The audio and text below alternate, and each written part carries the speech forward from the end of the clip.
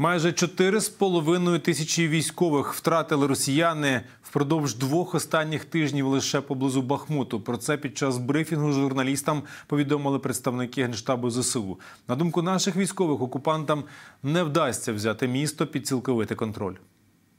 Жорстокі і найважчі зіткнення сьогодні тривають у Бахмуті. Там ворог сконцентрував основні свої зусилля, і ми змушені так само докладати великих зусиль для того, щоб боронити ці рубежі. Попри те, що у Бахмуті ворог сконцентрував найпрофесійніші свої підрозділи: це і вагнерівці, і десантно-штурмові загони, і спецпризначенці. Росіяни не можуть досягти там своєї цілі, тобто взяти під повний контроль Бахмут.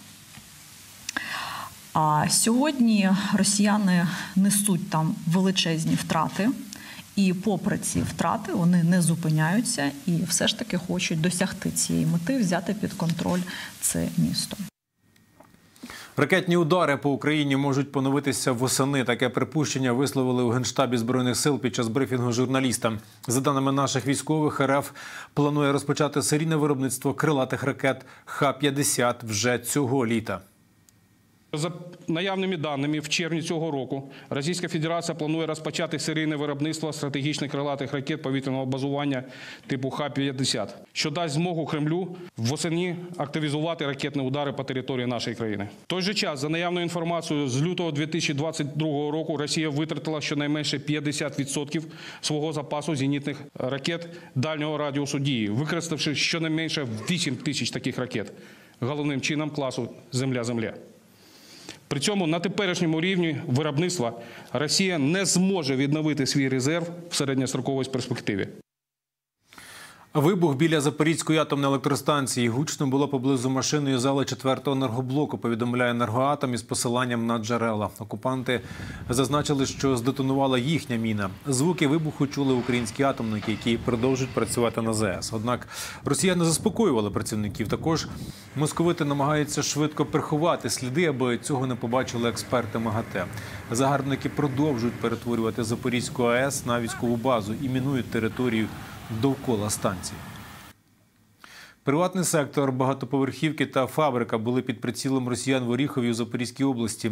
За повідомленням голови обласної адміністрації, загарбники тричі вдарили авіацію. Деталі про постраждалих та масштаб руйнування з'ясовують. Фахівці працюють на місці влучань. Лише декілька кварталів вціліли у Сєвєродонецьку на Луганщині. Про це в етері єдиного телемарафону розповів голова військової адміністрації міста Олександр Стрюк. Тепер московити використовують ці багатоповерхівки. Мовляв, до міста повертається життя, але насправді це не так. 80% міста знаходиться у зруйнованому стані, а десь ну трохи більше 60% ну не підлягає відновленню взагалі будинки, які е, згоріли, обвалились. Та наразі продовжують обвалюватись після штурмових дій. Е, прийшла зима. Е, вони піддалися впливу погодних умов і зараз рушаться подекуди цілими під'їздами. Опадають. Містяни знаходяться в такій ситуації, що за відсутності зв'язку, відсутності інтернету, дозвонитись можна на велику землю, лише виїхавши там до сусідніх міст, і ближче до Луганська. Хто міг обезголовити українського військовополоненого та де сталася страта? Приблизні дані про це вже є в української розвідки. Таке в етері програми Свобода ранок заявив уповноважений із прав людини в Україні Дмитро Лубінець. У мене вчора було спілкування з нашими розвідувальними органами. І е, за їхніми припущеннями вони е, приблизно знають, е, хто це зробив, в якій місцевості і хто безпосередньо в цьому приймав участь, в тому числі хто безпосередньо був виконавцем.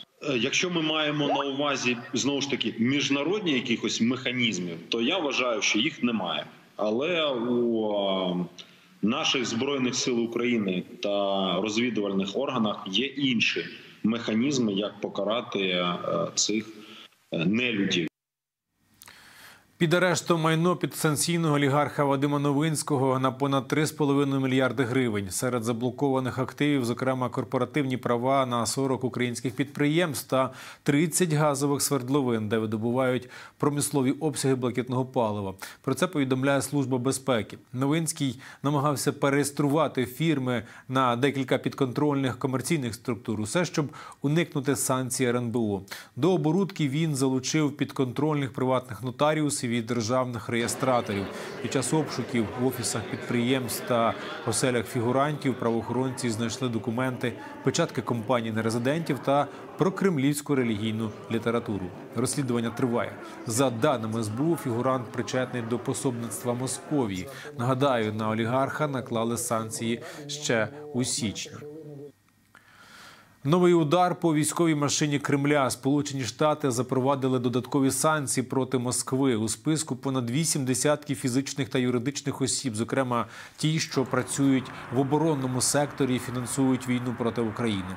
Частина це закордонні компанії, які постачають Росії товари подвійного призначення в обхід санкцій заходу. Під обмеження також потрапив холдинг одного із найбільших російських олігархів.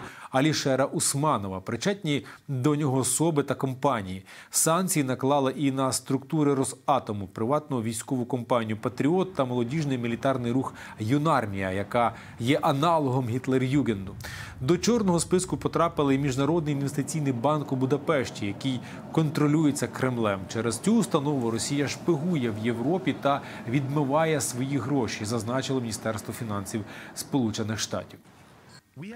Ми занепокоєні тим, що угорські лідери шукають все тісніших зв'язків із Росією, незважаючи на її жорстоку агресію. Тісна економічна співпраця з Росією підживлює російську військову машину і загрожує трансатлантичній безпеці. Присутність непрозорої кремлівської платформи в серці Угорщини загрожує безпеці та суверенітету угорського народу, їхніх європейських сусідів та союзників по НАТО. США демонструють, що ми будемо вживати заходів у відповідь на вибір Угорщини та обмежимо доступ Росії і підсанкційних росіян до міжнародної фінансової системи. Таємні документи Пентагону міг оприлюднити працівник американської військової бази. Про це пише видання Вашингтон Пост, яке провело власне розслідування. Журналісти поспілкувалися із людьми, які називають себе друзями викривача. Вони кажуть, що чоловік тривалий час ділився таємною інформацією на платформі для любителів відеоігор. Там він відомий під псевдонімом OG. За словами співрозмовників, хлопцю трохи більше за 20. Він захоплюється зброєю і спортивними машинами. Перші документи викривач оприлюднив взимку. Це були детальні нотатки засекречених файлів про війну Росії в Україні. А згодом почав викладати фото роздруківок. При цьому хлопець докладно пояснював усі помітки і деталі матеріалів. Співрозмовники заперечують те, що чоловік російський агент чи має проросійські погляди. Мовляв, він не підтримує ані Україну, ані Росію. А документи публікував, щоб тому, що вважає, що американський уряд приховує правду.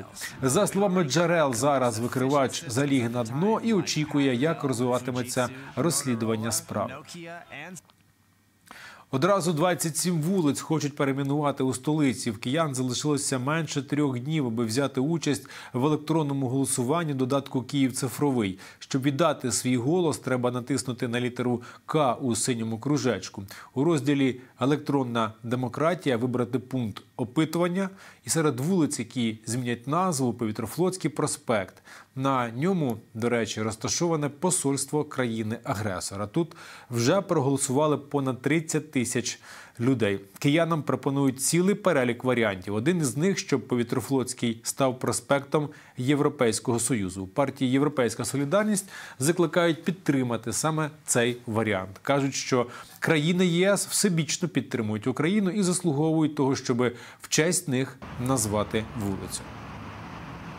Ну для нас дуже важливо, щоб після процесу декомунізації відбувався процес деколонізації. Повітрофлотський проспект це абсолютно радянська назва на честь флоту авіаційного радянського союзу. Е, і саме тому дуже важливо, щоб ця назва все ж таки відповідала українським реаліям, нашим сьогоднішнім прагненням. Наше головне прагнення це бути членами Європейського союзу. Європейський союз і країни Європейського союзу це наші союзники, які нас підтримують.